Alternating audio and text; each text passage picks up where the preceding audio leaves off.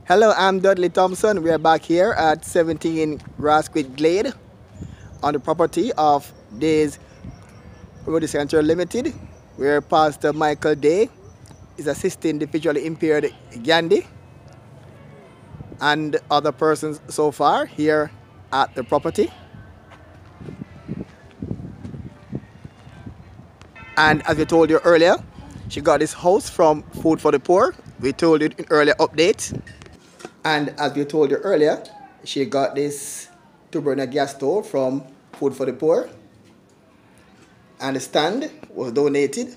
The stand was donated by someone in the community. And the cylinder of gas was also donated by a good friend, retired SSP, Oberlin White. And now we're making another appeal for her assistance. You can see here, part of her house is a kitchen area, as you can see right here. And now they're gonna appeal for a kitchen sink. You can see the, the, the pipe fittings here in the kitchen area. And we're appealing for a sink for her to put in the kitchen area. As you can see, the area of the kitchen.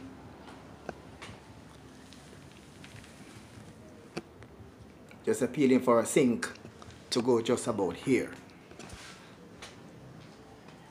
This is Gandhi, live on the property with her five-year-old son. And again, appealing for a kitchen sink so she can do her household chores.